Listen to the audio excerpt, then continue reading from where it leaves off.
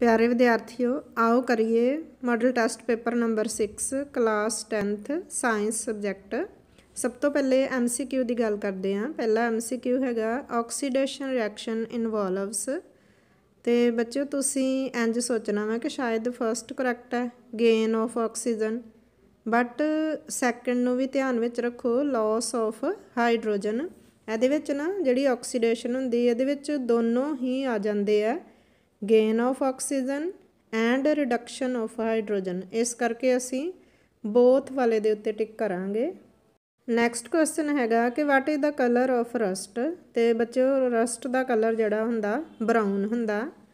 ਦਾ substance ਵਿੱਚ take part in a reaction is called ਤੇ ਇਹ ਤੁਹਾਨੂੰ ਚੰਗੀ ਤਰ੍ਹਾਂ ਕਲੀਅਰ ਹੋਣਾ ਚਾਹੀਦਾ ਹੈ ਕਿ ਉਹ ਵਾਲੇ ਸਬਸਟੈਂਸ ਜਿਹੜੇ ਕਿਸੇ ਰਿਐਕਸ਼ਨ ਨੂੰ ਕਰਨ ਵੇਲੇ ਉਹਦੇ ਵਿੱਚ ਪਾਰਟਿਸਿਪੇਟ ਕਰਦੇ ਉਹਨਾਂ ਨੂੰ ਅਸੀਂ ਬੋਲਦੇ ਆ ਰਿਐਕਟੈਂਟਸ ਤੇ ਫਿਰ ਰਿਐਕਟੈਂਟਸ ਰਿਐਕਟ ਕਰਕੇ ਜੋ ਬਣਾਉਂਦੇ ਆ, ਉਹ ਹੁੰਦੇ ਆ ਪ੍ਰੋਡਕਟਸ ਥਰਡ ਕੁਐਸਚਨ ਦੇ ਵਿੱਚ ਉਹਨੇ ਪੁੱਛਿਆ ਆ ਕਿ ਬੋਨਸ ਜਦੋਂ ਫ੍ਰੈਕਚਰਡ ਹੋ ਜਾਂਦੀਆਂ ਤੇ ਉਹਨਾਂ ਨੂੰ ਜੋੜਨ ਵਾਸਤੇ ਅਸੀਂ ਕਿਸ ਚੀਜ਼ ਦੀ ਯੂਜ਼ ਕਰਦੇ ਆ ਤੇ ਇਹ ਹੈਗਾ ਪਲਾਸਟਰ ਆਫ ਪੈਰਿਸ ਕਿਉਂਕਿ ਉਹ ਚੰਗੀ ਤਰ੍ਹਾਂ ਸੈੱਟ ਹੋ ਜਾਂਦਾ ਗਿੱਲਾ ਹੋ ਕੇ। ਨੈਕਸਟ ਵਿੱਚ ਉਹਨੇ ਪੁੱਛਿਆ toothpaste used for cleaning teeth is acidic ਕਿਉਂਕਿ ਜਿਹੜਾ ਸਾਡਾ ਮੂੰਹ ਹੁੰਦਾ ਨਾ, ਉਹਦਾ ਜਿਹੜੀ ਨੇਚਰ ਹੁੰਦੀ ਬੇਸਿਕ ਤੇ ਉਹਨੂੰ ਨਿਊਟਰਲਾਈਜ਼ ਕਰਨ ਵਾਸਤੇ ਅਸੀਂ ਜਿਹੜੀ ਟੁੱਥਪੇਸਟ ਹੈ, ਉਹ ਯੂਜ਼ ਕਰਦੇ ਹਾਂ, ਜਿਹੜੀ ਕਿ ਐਸਿਡਿਕ ਹੁੰਦੀ ਹੈ ਤੇ ਉਸ ਤੋਂ ਬਾਅਦ ਹੈਗਾ ਵਾਸ਼ਿੰਗ ਸੋਡਾ, ਬੱਚਿਓ, ਇੱਕ ਇਹੋ ਜਿਹਾ ਕੰਪਾਊਂਡ ਹੈ, ਜਿਹੜਾ ਕਿ ਵਾਟਰ ਨੂੰ ਸੌਫਟਨਿੰਗ ਕਰਨ ਲਈ ਯੂਜ਼ ਕੀਤਾ ਜਾਂਦਾ ਆ। ਬਰਾਸ ਇੱਕ ਇਹੋ ਜਿਹੀ ਲਾਏ ਆ, ਜਿਹਦੇ ਵਿੱਚ ਕਾਪਰ ਐਂਡ ਜ਼ਿੰਕ ਨੂੰ ਮਿਲਾ ਕੇ ਇਹ ਬਰਾਸ ਜਿਹੜੀ ਬਣਾਈ ਜਾਂਦੀ ਹੈ। 8th ਕੁਐਸਚਨ ਵਿੱਚ ਉਹਨੇ ਪੁੱਛਿਆ ਕਿ ਐਮਫੋਟਰਿਕ ਆਕਸਾਈਡਸ ਕਿਹੜੇ ਹੁੰਦੇ ਆ? ਤੇ ਬੱਚਿਓ, ਐਮਫੋਟਰਿਕ ਆਕਸਾਈਡਸ ਉਹ ਹੁੰਦੇ ਆ ਜਿਨ੍ਹਾਂ ਦੇ ਵਿੱਚ ਮੈਟਲਸ ਜਿਹੜੇ ਆ, ਕੁਝ ਕੁ ਮੈਟਲਸ ਉਹ ਆਕਸੀਜਨ ਨਾਲ ਮਿਲ ਕੇ ਜਿਹੜੇ ਆਕਸਾਈਡ ਬਣਾਉਂਦੇ ਆ ਨਾ, ਉਹ ਐਸਿਡਸ ਨਾਲ ਵੀ ਰਿਐਕਟ ਕਰ ਲੈਂਦੇ ਆ ਤੇ ਬੇਸਿਸ ਨਾਲ ਵੀ ਤੇ ਉਹ ਸਾਲਟ ਐਂਡ ਵਾਟਰ ਪ੍ਰੋਡਿਊਸ ਕਰਦੇ ਆ। ਇਸ ਕਰਕੇ ਅਸੀਂ ਇਹਨਾਂ ਨੂੰ ਬੋਲਦੇ ਆ ਐਮਫੋਟਰਿਕ ਆਕਸਾਈਡ, ਇਹਦੇ ਵਿੱਚ ਆਏਗਾ zinc oxide. On which element do all living processes depend ਤੇ ਇਹ ਬੱਚਿਓ ਕਾਰਬਨ ਇਸ ਕਰਕੇ ਹੈ, ਕਿਉਂਕਿ ਜਿਹੜੇ ਪਲਾਂਟਸ ਆ ਉਹ ਕਾਰਬਨ ਤੋਂ ਆਪਣਾ ਫੂਡ ਬਣਾਉਂਦੇ ਆ ਹੁਣ ਤੁਹਾਨੂੰ ਇਹ ਭੁਲੇਖਾ ਲੱਗ ਸਕਦਾ ਸੀਗਾ ਕਿ ਆਕਸੀਜਨ ਹੈ। ਬਟ ਦੇਖੋ ਆਕਸੀਜਨ ਤਾਂ ਸਿਰਫ ਜਿਹੜੇ ਐਨੀਮਲਸ ਹੈ ਜਾਂ ਹਿਊਮਨਸ ਹੈ, ਇਹਨਾਂ ਨੂੰ ਸਾਹ ਲੈਣ ਲਈ ਹੀ ਚਾਹੀਦੀ ਹੈ। ਬਟ ਜਿਹੜੀ ਬੇਸਿਕ ਆਪਾਂ ਜੇ ਕਹੀਏ ਕਿ ਅਰਥ ਦੇ ਉੱਪਰ ਜੀਵਨ ਤਾਂ ਹੀ ਸੰਭਵ ਹੈ, ਜੇ ਕਾਰਬਨ ਡਾਈਆਕਸਾਈਡ ਪ੍ਰੈਜ਼ੈਂਟ ਹੈ। ਕਿਉਂਕਿ ਕਾਰਬਨ ਡਾਈਆਕਸਾਈਡ ਪਲਾਂਟਸ ਲੈਣਗੇ ਤੇ ਉਹ ਉਹੀ ਫਿਰ ਆਕਸੀਜਨ ਪ੍ਰੋਡਿਊਸ ਕਰਨਗੇ। ਨਾਲੇ ਜੋ ਵੀ ਫੂਡ, ਜੋ ਵੀ ਬਣਨਾ ਹੈ, ਉਹ ਸਾਰਾ, ਸਾਰੇ ਦਾ ਆਧਾਰ ਕੀ ਹੈ? Carbon dioxide. ਤੇ ਤੁਹਾਨੂੰ ਪਤਾ ਹੈ, ਕਾਰਬਨ ਜਿਹੜੀ ਹੈ, ਕਾਰਬਨ ਡਾਈਆਕਸਾਈਡ ਅਰਥ ਦੇ ਉੱਪਰ ਸਿਰਫ 0.003% ਪ੍ਰੈਜ਼ੈਂਟ ਹੈ ਆਪਣੇ ਐਟਮੋਸਫੇਅਰ ਦੇ ਵਿੱਚ।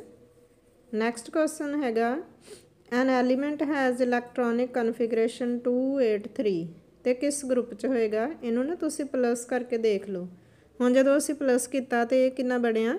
13 ਤੇ 1 ਤੇ 2 ਨੂੰ ਛੱਡ ਕੇ। ਬਾਕੀ ਜਿੰਨੇ ਵੀ ਜੇ ਪਲੱਸ ਕਰਿਆ 13 ਆਵੇ ਤਾਂ 13 ਗਰੁੱਪ ਵਿੱਚ ਹੈ। According to Mendeleev's periodic table an element are arranged in ਤੇ ਇਹਦੇ ਵਿੱਚ ਆਏਗਾ ਐਟੋਮਿਕ ਮਾਸਸ ਕਿਉਂਕਿ ਮਾਡਰਨ ਪੀਰੀਓਡਿਕ ਟੇਬਲ ਨੂੰ ਛੱਡ ਕੇ ਜਿੰਨੇ ਵੀ ਪੀਰੀਓਡਿਕ ਟੇਬਲਸ ਹੈ ਨਾ, ਉਹ ਸਾਰੇ ਐਟੋਮਿਕ ਮਾਸ ਦੇ ਬੇਸ ਦੇ ਉੱਪਰ ਹੈ। ਇਸ ਕਰਕੇ ਅਸੀਂ ਸੀ ਤੇ ਟਿਕ ਕਰਾਂਗੇ ਵਿਚ ਇਜ਼ ਅ ਪੈਰਾਸਾਈਟਿਕ ਪਲਾਂਟ ਤੇ ਇਹਦੇ ਵਿੱਚ ਬੱਚਿਓ ਕਸਕੁਟਾ ਪੈਰਾਸਿਟਿਕ ਪਲਾਂਟ ਹੈ। ਪੈਰਾਸਿਟਿਕ ਪਲਾਂਟ ਉਹ ਹੁੰਦੇ ਆ, ਜਿਹੜੇ ਆਪਣਾ ਜਿਹੜਾ ਫੂਡ ਹੈ ਨਾ, ਉਹ ਡਾਇਰੈਕਟਲੀ ਦੂਸਰੇ ਆਰਗੇਨਿਜ਼ਮ ਤੋਂ ਲੈਂਦੇ ਆ। ਤੇ ਕਸਕੁੱਟਾ ਇੱਕ ਇਹੋ ਜਿਹਾ ਪਲਾਂਟ ਆ, ਉਹ ਨਾ ਆਪਣੀਆਂ ਜੜਾਂ ਜਿਹੜੀਆਂ ਵਾ ਨਾ, ਉਹਨਾਂ ਨੂੰ ਪਲਾਂਟ ਦੇ ਅੰਦਰ ਇੰਜੈਕਟ ਕਰ ਦਿੰਦਾ ਤੇ ਫਿਰ ਉੱਥੋਂ ਦੀ ਬਣਿਆ ਬਣਾਇਆ ਫੂਡ ਜਿਹੜਾ ਉਹਨੂੰ ਉਹ ਲੈ ਲੈਂਦਾ ਆ।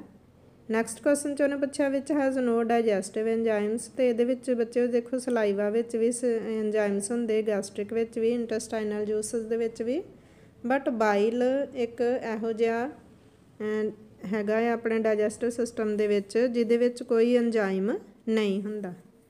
ਨੈਕਸਟ ਕੁਐਸਚਨ ਜੋ ਨੇ ਪੁੱਛਿਆ ਫਰਟੀਲਾਈਜੇਸ਼ਨ ਅਕਰ ਇਨ, ਤੇ ਇਹਦੇ ਵਿੱਚ ਬੱਚੇ ਆਏਗਾ ਫੈਲੋਪੀਅਨ ਟਿਊਬ ਓਵਰੀ ਤੋਂ ਪਿੱਛੇ ਹੀ। ਫੈਲੋਪੀਅਨ ਟਿਊਬ ਦੇ ਵਿੱਚ ਫਰਟੀਲਾਈਜੇਸ਼ਨ ਹੁੰਦੀ ਹੈ।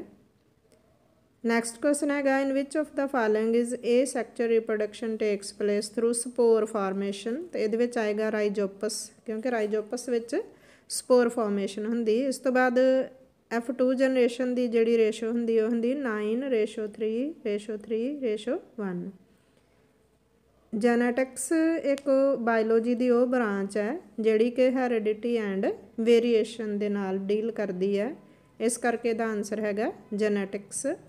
19th ਕੁਐਸਚਨ ਦੇ ਵਿੱਚ ਉਹਨੇ ਪੁੱਛਿਆ the image formed on a screen ਤੇ ਬੱਚੋ, ਦੇਖੋ ਜਿੱਦਾਂ ਇਹ ਮਿਰਰ ਹੈਗਾ ਮਿਰਰ ਦੇ ਉੱਪਰ ਰੇਜ਼ ਪੈ ਰਹੀਆਂ ਵਾ ਤੇ ਉਹ ਰਿਫਲੈਕਟ ਹੋ ਕੇ ਫਿਰ ਸਾਨੂੰ ਦਿਸ ਰਹੀਆਂ ਵਾ। ਇਸ ਕਰਕੇ ਇਸ ਇਮੇਜ ਨੂੰ ਬੋਲਦੇ ਆ ਰੀਅਲ ਹੁਣ ਇਹ ਦੇਖੋ ਆਪਣਾ ਹੈਗਾ ਮਿਰਰ ਮਿਰਰ ਦਾ ਜਿਹੜਾ ਨਾ ਬਿਲਕੁਲ ਸੈਂਟਰ ਹੁੰਦਾ ਮਿਡ ਪੁਆਇੰਟ ਉਹਨੂੰ ਅਸੀਂ ਬੋਲਦੇ ਆ ਪੋਲ ਇਹਨੂੰ ਤੁਸੀਂ ਫਿਗਰ ਦੇ ਹਿਸਾਬ ਦੇ ਨਾਲ ਇਹਨੂੰ ਯਾਦ ਰੱਖਣਾ ਕਿ ਇਹਨੂੰ ਅਸੀਂ ਪੋਲ ਕਹਿੰਦੇ ਆ ਉਸ ਤੋਂ ਬਾਅਦ ਉਹਨੇ ਪੁੱਛਿਆ ਆ ਕਿ ਇਹਨਾਂ ਦੇ ਵਿੱਚੋਂ ਕਿਹੜਾ ਫਾਰਮੂਲਾ ਆ, ਜਿਹੜਾ ਕਿ ਲੈਂਜਸ ਲਈ ਯੂਜ਼ ਕੀਤਾ ਜਾਂਦਾ। ਤੇ ਬੱਚਿਓ ਹੈਗਾ B option 1 f 1 v 1 u 22nd question ਜਿਹੜਾ ਆ, ਉਹ ਹੈਗਾ ਕਿ when an object is placed be beyond centre of curvature ਤੇ ਇਹ ਫਿਗਰ ਦੇ ਵਿੱਚ ਦੇਖੋ ਕਿ ਜਦੋਂ ਨਾ ਸੈਂਟਰ ਆਫ ਕਰਵੇਚਰ ਤੋਂ ਪਿੱਛੇ ਹੀ ਕਿਸੇ ਆਬਜੈਕਟ ਨੂੰ ਰੱਖਿਆ ਜਾਂਦਾ, ਤੇ ਜਿਹੜੀਆਂ ਰੇਜ਼ ਆ ਉਹ ਰਿਫਲੈਕਟ ਹੋ ਕੇ F ਐਂਡ ਸੀ ਦੇ ਵਿਚਕਾਰ ਮਿਲਦੀਆਂ, ਇਸ ਕਰਕੇ ਇਮੇਜ ਸੀ ਐਂਡ F ਦੇ ਵਿਚਕਾਰ ਬਣਦਾ ਆ। ਇਹਨਾਂ circuit ammeter is connected in series ammeter ਨੂੰ ਹਮੇਸ਼ਾ ਅਸੀਂ ਸੀਰੀਜ਼ ਵਿੱਚ ਲਗਾਉਂਦੇ ਆ ਤੇ ਇਲੈਕਟ੍ਰਿਕ ਪਾਵਰ ਦੀ ਯੂਨਿਟ ਜਿਹੜੀ ਉਹ ਹੁੰਦੀ ਹੈ ਕਿਲੋਵਾਟ ਆਵਰ ਇਹਦੀ ਜਿਹੜੀ, ਇਹ ਜਿਹੜੀ ਕਿਲੋਵਾਟ ਆਵਰ ਹੈ ਨਾ, ਇਹ ਕਮਰਸ਼ੀਅਲ ਯੂਨਿਟ ਹੈਗੀ ਹੈ ਕਮਰਸ਼ੀਅਲ ਯੂਨਿਟ ਵਾਸਤੇ ਯੂਜ਼ ਕੀਤਾ ਜਾਂਦਾ ਬਟ ਆਪਾਂ ਸਿੰਪਲ ਜੇਕਰ ਯੂਜ਼ ਕਰਨੀ ਹੋਏ ਤੇ ਅਸੀਂ ਵਾਟ ਵੀ ਯੂਜ਼ ਕਰਦੇ ਹਾਂ the electric device based on magnetic effect of electric current ਤੇ ਇਹ ਬੱਚੇ ਆਏਗਾ ਇਲੈਕਟ੍ਰਿਕ ਬੈਲ ਕਿਉਂਕਿ ਇਲੈਕਟ੍ਰਿਕ ਬੈਲ ਦੇ ਵਿੱਚ ਪਤਾ ਕੀ ਕਰਦੇ ਆ, ਜਦੋਂ ਨਾ ਉਹਦੇ ਵਿੱਚ ਇੱਕ ਸਰਕਟ ਬਣਾਇਆ ਹੁੰਦਾ, ਉਹਦੇ ਵਿੱਚ ਉਹਦੀ ਕਰੰਟ ਪਾਸ ਹੁੰਦਾ ਤੇ ਉਹਦੇ ਲਾਗੇ ਹੀ ਨਾ ਇੱਕ ਸਾਈਡ ਤੇ ਹਥੌੜਾ ਅਟੈਚ ਹੁੰਦਾ ਆ, ਜਦੋਂ ਨਾ ਸਰਕਟ ਕਰੰਟ ਜਿਹੜਾ ਜਦੋਂ ਸਰਕਟ ਵਿੱਚੋਂ ਪਾਸ ਹੁੰਦਾ ਤੇ ਉਹ ਮੈਗਨੇਟ ਦਾ ਕੰਮ ਕਰਦਾ ਤੇ ਜਿਹੜਾ ਹਥੌੜਾ ਆ ਉਹ ਜਾ ਕੇ ਟਕਰਾਉਂਦਾ ਆ। ਇਸ ਤਰੀਕੇ ਨਾਲ ਅਸੀਂ ਕਵਾਂਗੇ ਕਿ ਇਲੈਕਟ੍ਰਿਕ ਬੈਲ ਇਹਦਾ ਆਨਸਰ ਹੈ। 27th ਕੁਐਸਚਨ ਚ ਉਹਨੇ ਪੁੱਛਿਆ ਹੈ ਕਿ ਮੈਗਨੈਟਿਕ ਫੀਲਡ ਲਾਈਨਸ ਦੀ ਡਾਇਰੈਕਸ਼ਨ ਕੌਣ ਸ਼ੋ ਕਰਦਾ ਤੇ ਇਹਦੇ ਵਿੱਚ ਇਹ ਦੇਖੋ ਇਸ ਤਰੀਕੇ ਨਾਲ ਤੁਸੀਂ ਆਪਣੇ ਅੰਗੂਠੇ ਨੂੰ ਹੇਠਾਂ ਰੱਖ ਕੇ ਤੇ ਉਂਗਲੀਆਂ ਦੇ ਨਾਲ ਇਸ ਤਰ੍ਹਾਂ ਕਰਕੇ ਆਪਣੇ ਅੰਗੂਠੇ ਨੂੰ ਜ਼ਮੀਨ ਦੇ ਉੱਤੇ ਲਾ ਕੇ ਇਹਨੂੰ ਦੇਖ ਸਕਦੇ ਆ ਜਿਹੜਾ ਅੰਗੂਠਾ ਆ ਉਹ ਕਰੰਟ ਸ਼ੋ ਕਰਦਾ ਤੇ ਜਿਹੜੀਆਂ ਉਂਗਲੀਆਂ ਮੈਂ ਉਹ ਮੈਗਨੈਟਿਕ ਫੀਲਡ ਲਾਈਨਸ ਸ਼ੋ ਕਰਦੀਆਂ। ਅੱਗੇ ਹੈਗਾ ਮੈਗਨੈਟਿਕ ਫੀਲਡ ਲਾਈਨਸ ਆਰ ਕਹਿੰਦਾ ਕਿ ਸਟ੍ਰੇਟ ਹੁੰਦੀਆਂ ਜਾਂ ਕਰਵਡ ਹੁੰਦੀਆਂ ਜਾਂ ਕਲੋਜ਼ਡ ਕਰਵਸ ਹੁੰਦੀਆਂ ਤੇ ਇਹ ਫਿਗਰ ਦੇ ਹਿਸਾਬ ਨਾਲ ਦੇਖੋ ਬੱਚਿਓ, ਇਹ ਕੀ ਹੁੰਦੀਆਂ ਵਾ? ਕਲੋਜ਼ਡ ਵੀ ਹੁੰਦੀਆਂ ਤੇ ਕਰਵਸ ਵੀ ਹੁੰਦੀਆਂ ਆ।